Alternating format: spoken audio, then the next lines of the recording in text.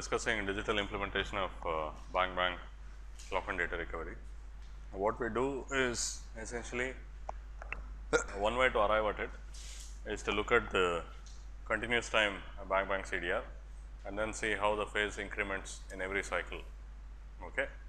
And we see that uh, we have an integral path and a, uh proportional path as usual and the VCO itself represents another integration. In discrete time that is accumulation. Okay.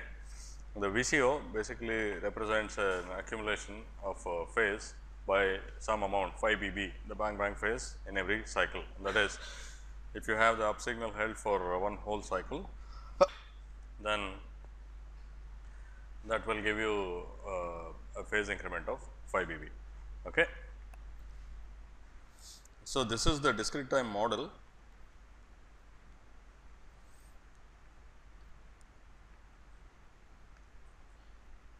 it also tells us how to implement the digital uh, implement the clock and data recovery circuit digitally.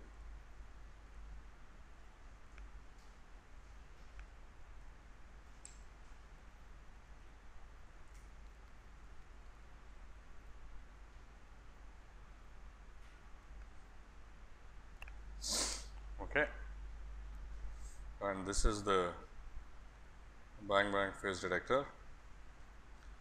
This output y, this uh, has values of plus minus 1 or 0, 0 if there is no transition and we will have phi in and this will be phi out. Okay. This is the model and to uh, in a digital implementation we will have exactly uh, I mean nearly exactly the same thing. We will have these accumulators and a phase selector which uh, selects the phase. Okay. the output of this is the phase. Now, if we have a digital accumulator, so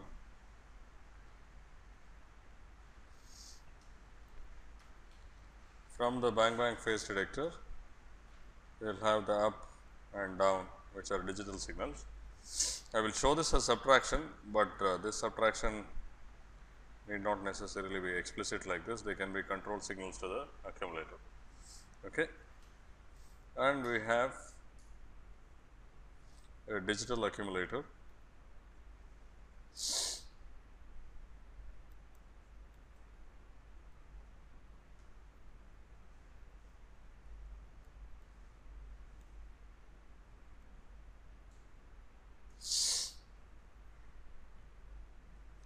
right and this to this and we have this phi BB by 1 minus Z inverse. Okay, this is another accumulator.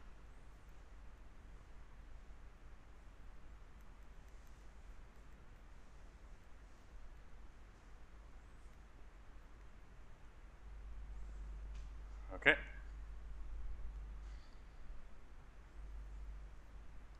And you know how to make uh, digital accumulators. You have it's usually I think shown like this. You have an input and you have the output coming here. Basically, here you have an adder. Okay, I mean uh, this is I think this also assumes a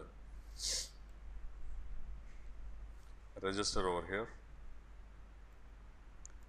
to store the accumulated value, right. So, this is how it is. Mm, I forget whether the symbol includes the register or register or not.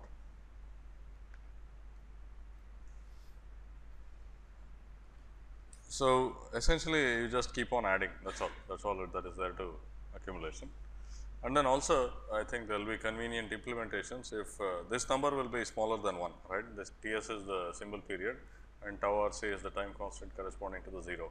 So, T s by tau r c is smaller than 1, but if you choose it to be let us say of the form 2 to the minus some integer, then this implementation becomes quite convenient. Similarly, this phi b b is some number smaller than 1 and you choose that to be some 2 to the minus l if uh, that is convenient then this uh, implementation also becomes convenient. Okay.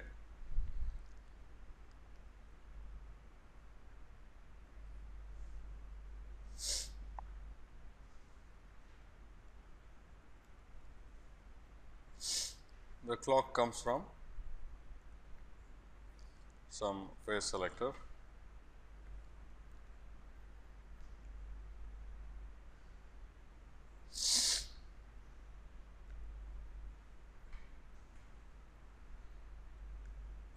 Okay. This is used to select the phase. The output of this is used to select the phase. Okay. Now, of course, there may be some additional quantization here.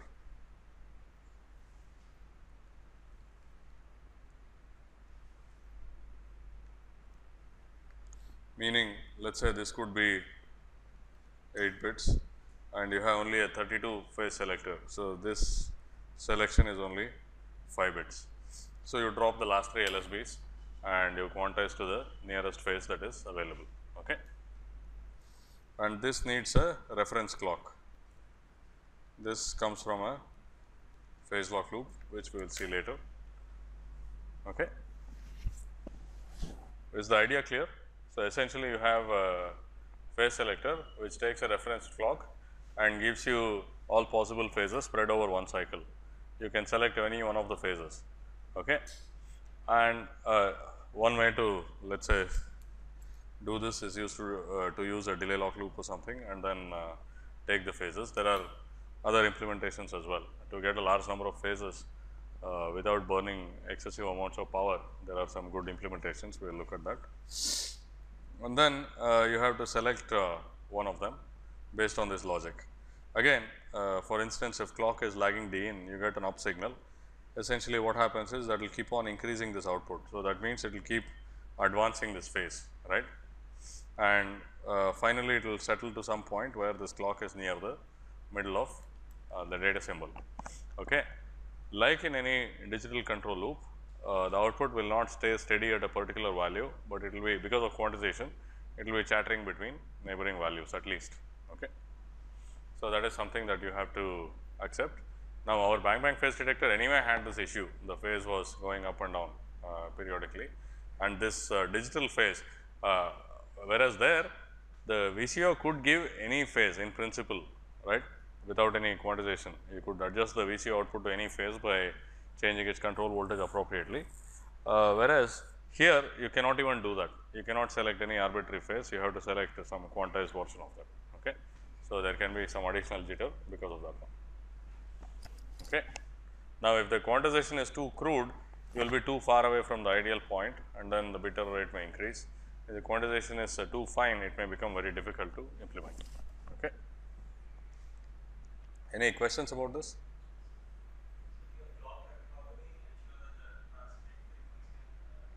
Yeah, that is right. So, now uh, this DIN is coming at some frequency, let us say f uh, transmit and this clock ref may be at a close by frequency, but it will it is certain to be different okay, because we do not have the reference clock right. So, how do you generate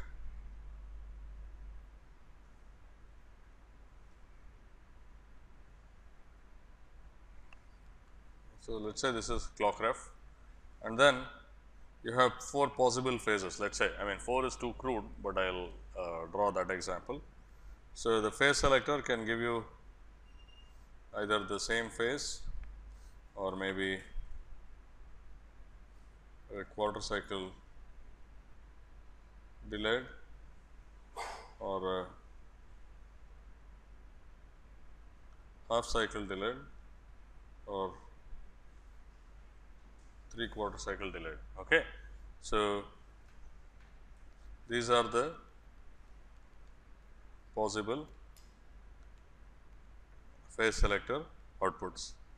Now, you can imagine lot more uh, finer granularity, I mean phases available with finer granularity. Now, if you have only a phase selector,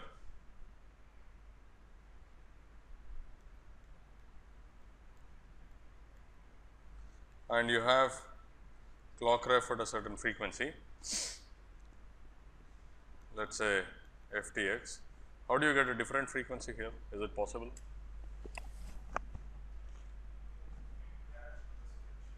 Huh? Yeah. So, what happens is essentially, uh, let us say, I mean, I will do this every cycle in the real implementation in the CDR, the phase selector input is not uh, changing at the same rate as the data rate. But for instance, first I will select this, okay, let me call this like 1, 2, 3, 4. First I will select 1, okay. Then in the very next cycle, uh, let us say I select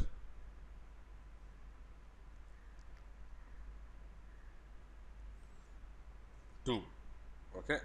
So, that means that this would have come here, but I select 2. So, it will get delayed by quarter cycle. Okay. And in the next select one I select 3.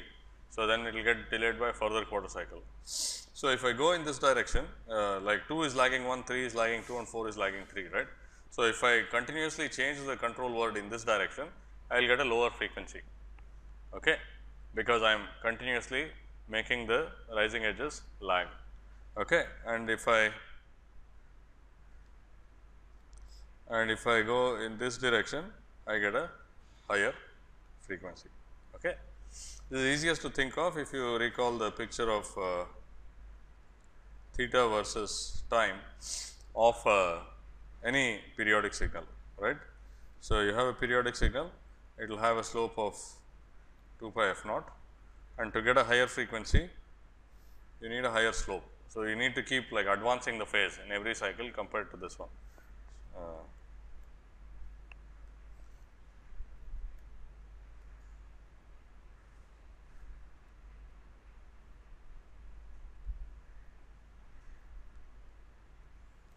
this is a higher frequency and this will be a lower frequency. So, in every cycle if you introduce an additional phase lag you will get a lower frequency. There is of course, a limit of uh, how much you can change the frequency that is related to how many phases you have and how often you can change the code right. So, it is possible to change the frequency. In this case what will happen is this uh, if this FRX is different from FTX, this means that the output of this right it will be continuously changing like a ramp. Of course, it will change like a ramp and then the accumulator will fold it back and so on. That is okay. Anyway, the phase also has a modulo characteristic. So, that is fine. Is this okay? So, this control word here will be like this ramp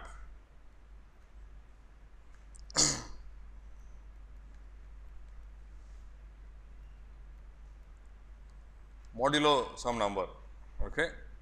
If the receive and transmit frequencies are different it has to be because you have to continuously step through the phases in order to synthesize a different frequency okay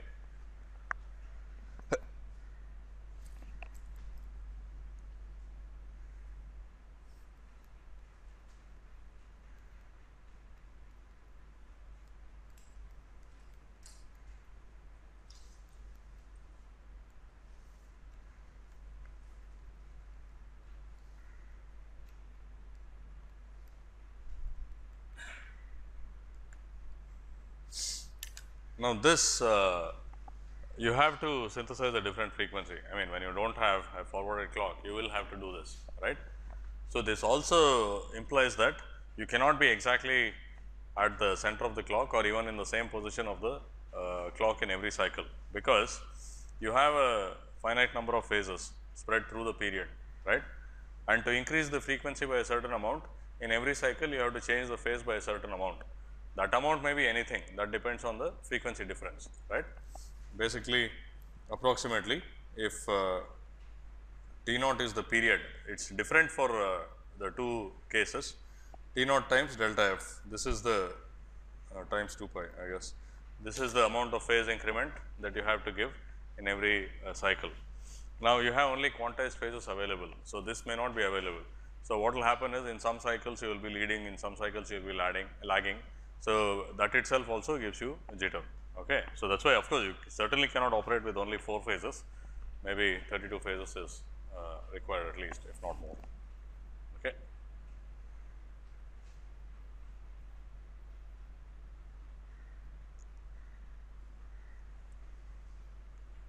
Any questions?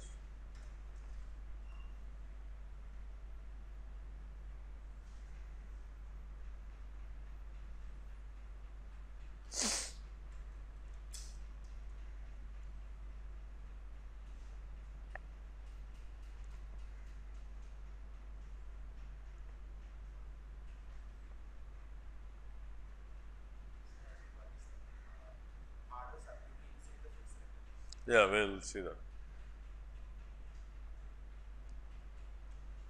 First, you have to generate like equally spaced uh, phases within a cycle that you could get from let us say you have only a single clock reference you could get from a delay lock loop or something. And then, uh, but the delay lock loop may not be able to generate like all the phases. It may be too power expensive to generate all the 32 or 64 phases using this. So, you generate a few phases and then you also typically use a phase interpolator that will give you uh, so you have let us say 0 and 45 degrees it will give you uh, phases between 0 and 45 based on some weighted summation okay? We'll see i mean i think we have to we'll have to look at it in some detail so we'll look at the circuit okay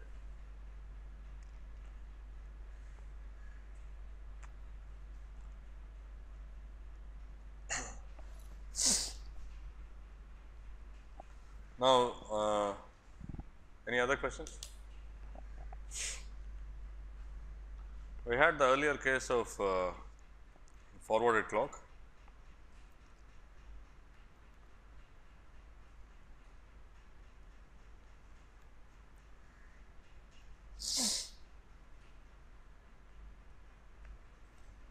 This is the phase detector,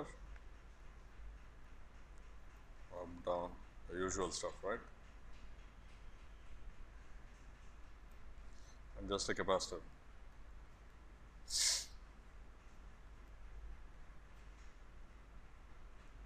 And this uh, control voltage was used to change the delay, right? Now, of course, here also you can have either a bang bang or a linear phase detector. I initially started with this uh, case of the forward clock and then moved to the case without forward clock and we did all our uh, small signal modeling and everything of that. Okay. We can quickly complete this, this is not difficult and then see uh, how they compare. So, let us say D in at some uh, phase phi n. This is the sort of the operating point, right? That is D in appears at some phase and clock appears at some other phase. Okay. Now, we do know that in uh, steady state again it is uh, usual to I mean it is usually convenient to uh, for analysis assume a linear phase detector and then go with it after that we can substitute the bang phase detector.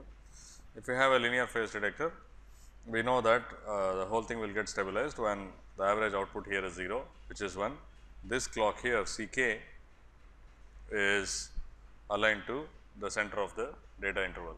Okay. Now, what will be the phase of this?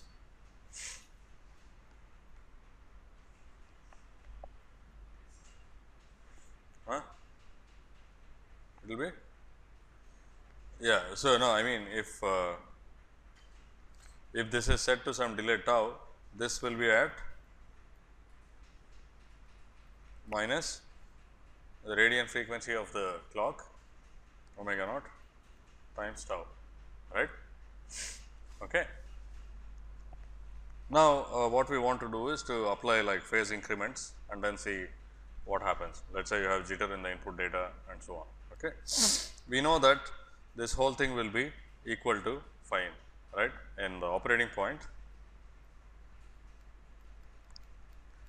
that is our reference that is how we measure it actually.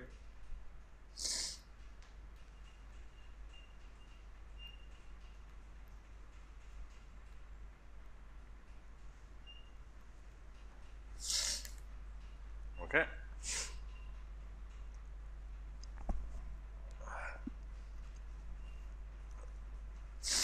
In fact, let me make this uppercase v control to denote that it is the operating point.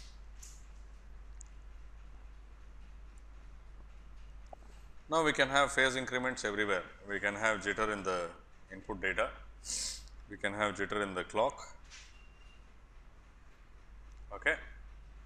This will in general introduce some increment in the control voltage and it will also introduce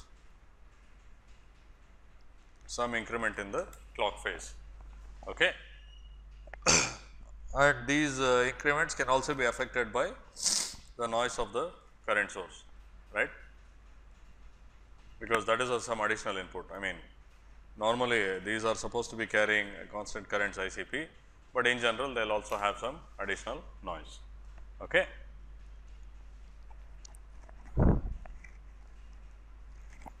So, the incremental model is basically uh, what gives you the relationship between these different increments, right. So, and the incremental model for the phase detector itself, I mean from uh, these inputs to this output is a gain of ICP by 2 pi. Okay. If you have rectangular, I mean alternating data, uh, if you have some transition density factor, it will get multiplied by the density factor. Okay. So, please try to uh, make the block diagram, the model block diagram, which relates this uh, phi n, phi c k n, phi c k, V control and so on, just like the earlier one, right. We had the incremental phase domain model for the case without the forwarded clock. Now, we have with forwarded clock, do the same thing for this. You can assume that uh, this relationship between this tau and V control is linear. Okay. So, let us say tau is some tau 0 minus k tau times V control. Okay.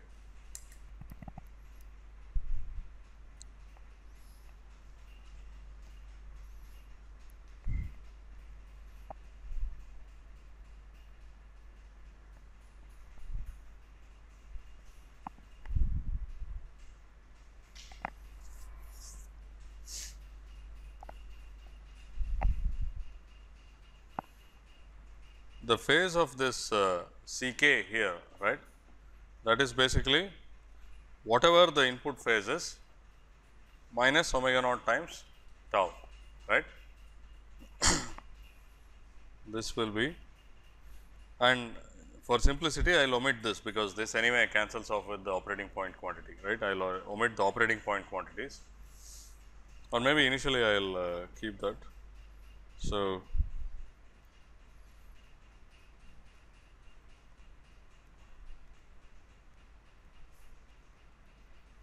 this is the phase of D in. The phase of uh, the input clock is phi c k the operating point value plus any jitter it may have and the phase of the clock is whatever is the phase of clock in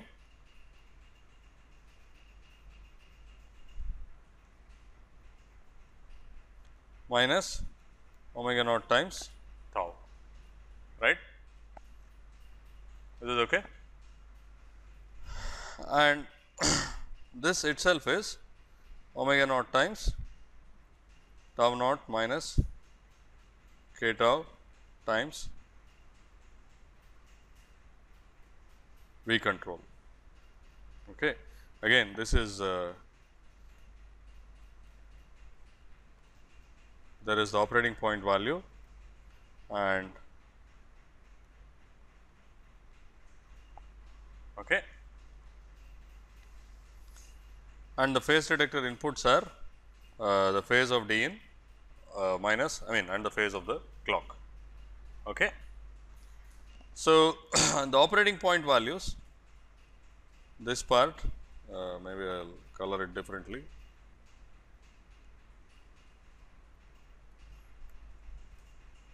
this part and this part will cancel off right because at the operating point it is operating in the middle of the data.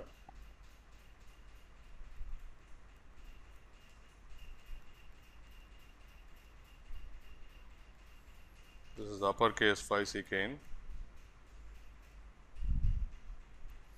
minus omega naught tau naught minus k tau V control. Okay. So, we are left with the incremental quantities, right. So, what are the phase detector inputs? The phase detector takes the difference between phi n and phi c k and phi c k itself is the sum of this one and that one. Okay. Basically, this one and that one. So, phi c k is? Phi c k in. Plus omega naught times k tau.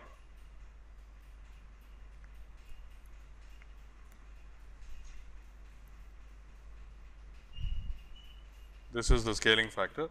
K tau the way we have defined it what's the what are the dimensions of k tau what are the units of k tau? Yeah seconds per volt or times per divided by voltage. So time times this becomes phase. Basically it is phase divided by voltage. So that becomes consistent. And then this is being driven by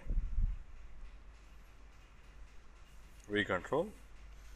And this phase difference phi n minus phi c k what do you have the usual gain of ICP by 2 pi. Again this is assuming alternating data.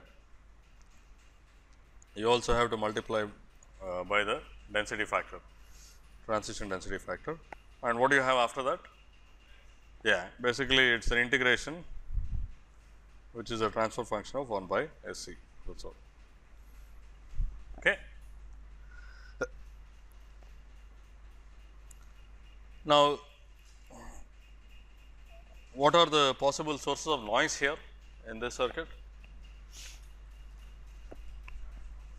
Huh? Charge pump definitely, charge pump current noise is there. Where would you add that? Huh? Yeah, basically again let us assume that I mean at least with a linear phase detector we know that this is on for half the time and that is on for half the time and I will assume that they have the same noise spectral density. That may not be the case if they do not have the same noise spectral density, we will take the average. So, I will simply add I n C p over there. What else is the source of noise? The delay line will have some jitter because the delay line uh, it is some active circuit it is a let us say a string of inverters. So, it means that every edge we saw this while analyzing the phase noise of a ring oscillator an edge will get delayed by some amount, but that is not going to be exact because of the noise of the inverters used in the delay line that will jitter around. So, the delay of this will have some uh, jitter okay. let us say it is tau j or uh, you can multiply that by the radian frequency and call it phase jitter phi j. It is a time jitter tau j or a phase jitter phi j. Where will that get added up in the model?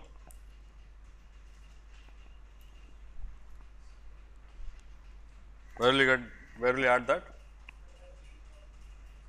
After the gain block. Basically, it is like adding it to phi c k in right it is like adding it to the clock phase I mean sorry phase of the input clock okay because that will get jittered around further. The input clock will have its own jitter and the delay line will add some more jitter to that. So, we can add some phi j here. So, this is the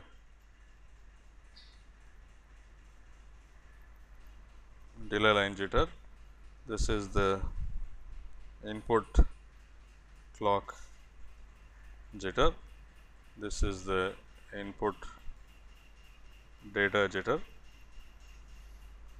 Okay. And we also know that just like we did in the other case without the forwarded clock, this INCP can be added as an equivalent phase here, right. How do you do that? What is the, if you want to move this uh, charge pump noise to this point, what will you add? Divided by the gain of the charge pump. So, INCP divided by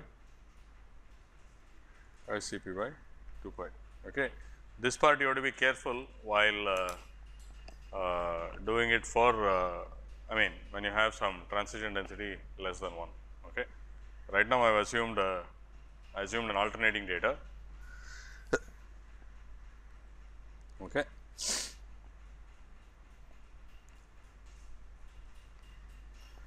So, now and the, the output clock is there. Okay? That is i mean it's it, it's it's uh, it's the phase of uh, the output clock that we are interested in for the sake of uh, jitter generation and jitter transfer. And how do we calculate jtol the jitter tolerance? How do we do that? That is we apply a jittery input data and see at what point the bit error rate goes beyond a certain value so what is it how did we go about that calculation So, this uh, phi in minus phi clock, right, that difference has to be within some limit, let us say one fourth of a cycle or maybe even less than that, right. So, that gives you jitter tolerance. So, we can calculate all those uh, uh, transfer functions. First, uh, jitter transfer. So, you calculate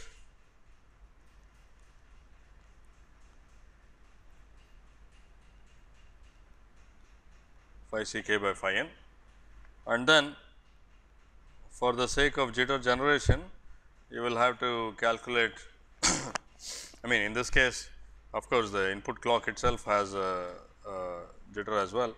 So, you have to calculate phi c k by phi c k in which is the same as phi c k by phi j right. These transfer functions are the same right phi j and phi c k in they give you the same uh, this one. So, you please calculate this okay. and then you also have to calculate uh, phi c k by I c p. We know that this is the same as phi c k by phi n times 2 pi by I c p right. So, please calculate all these uh, transfer functions and for jitter tolerance what we need is phi n minus phi c k the absolute value to be less than some phi 0 let us say. Okay. So, this means that the jitter tolerance in terms of phase will be what?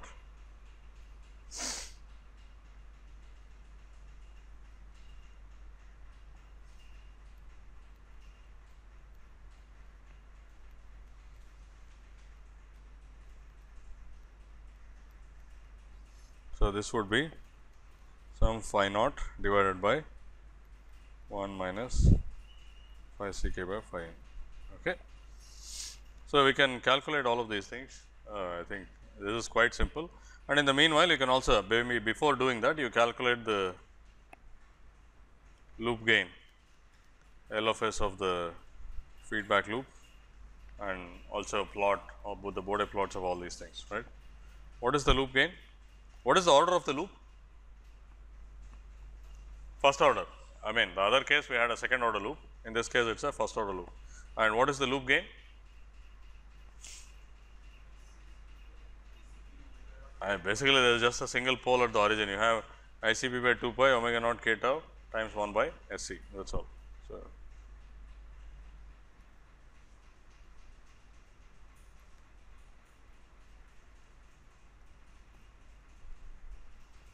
okay. So, loop gain magnitude is like that that is the unity loop gain frequency again I keep repeating that this is for alternating data you will have an additional density factor uh, which appears everywhere.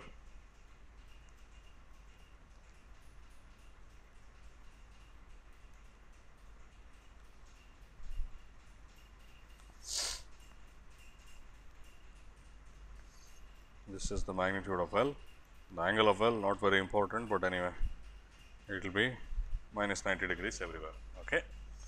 And on this you can plot the Bode plot of these other transfer functions.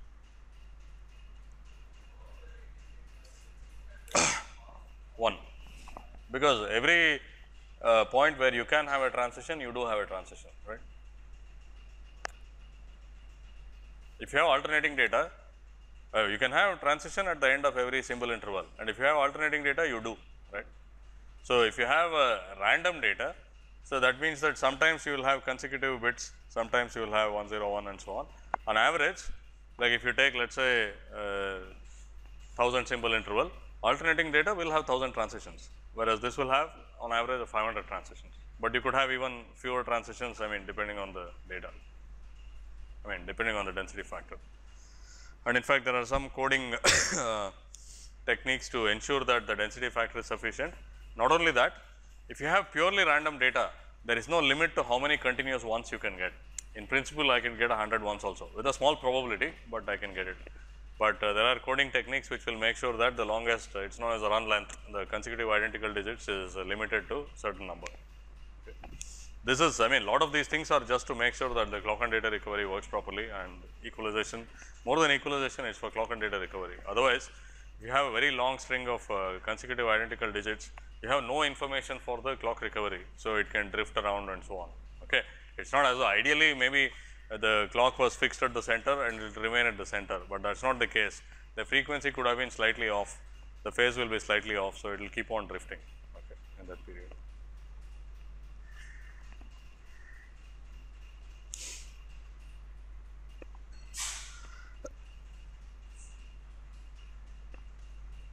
So, what do you get phi c k by phi n to be?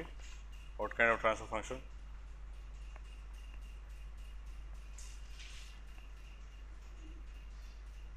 Just the loop gain? No. What is it? Phi c k by phi n, the jitter transfer.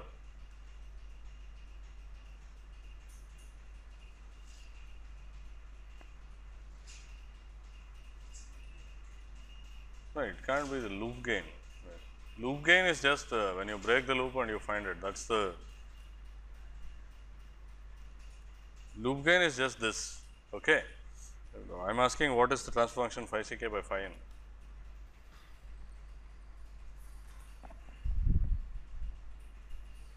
I mean this may be drawn differently with uh, many quantities added in, but basically you have a feedback loop phi n and you have a whole bunch of things and after that you have phi c k and it is fed back.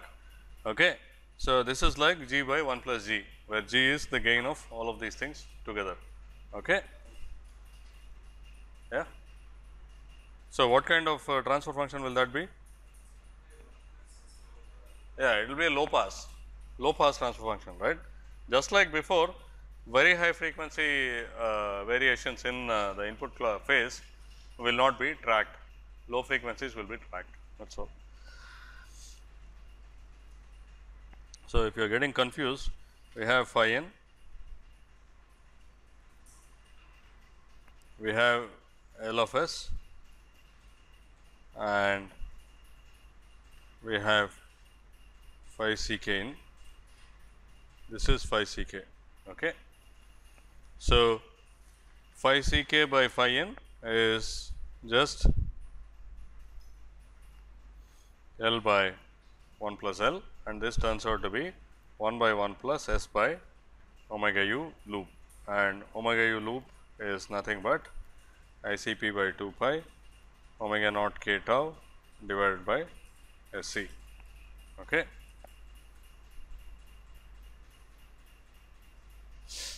So, it is a low pass uh, transfer function with a corner of omega u loop. Similarly, what is phi c k by what do you expect uh, phi c k by phi c k n to be? What kind of shape? It will be high pass. Okay. And please calculate all these transfer functions and sketch them